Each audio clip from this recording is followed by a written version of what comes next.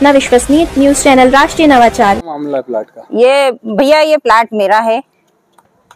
मेरी जगह में आज हम लोग यहाँ निर्माण करने आए। तो ये जो प्रवीण वर्मा है उनका ऐसा कहना है कि अगर आप इसमें निर्माण करोगे तो मैं तोड़वा दूँगा।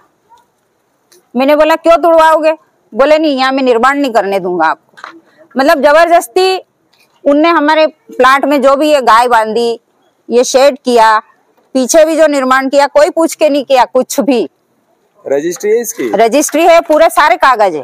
किसके नाम पे रजिस्ट्री मेरे नाम पे। अच्छा। कितने दिनों से ये? ये पिछले पाँच छह महीने से है। जब से इनका मकान बना ना उनने गाय बांधी है।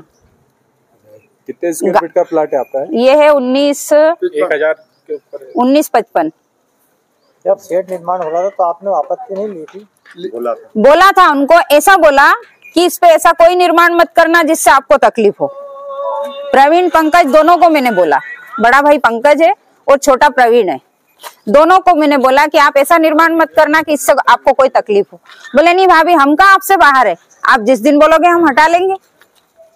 और आज जब आए तो आप शब्दों का प्रयोग किया उन्होंने कि इनके मुँह मत लगो और मैं ये तुड़वा दूँगा आपकी इस पे जो जितनी बार बनाओगे उतनी बार तुड़वाऊँगा। ऐसा बोलना है। पुलिस को शिकायत करी आपने? वो उन्होंने ही बोला तो हमको जाना पड़ा पुलिस में। पहले उन्होंने पुलिस को बुलवाया। हमको नहीं पता। मैं श्रीमती इंदिरा नागर। कौन सा मोहल्ला है ये? ये चामुंडा नगर।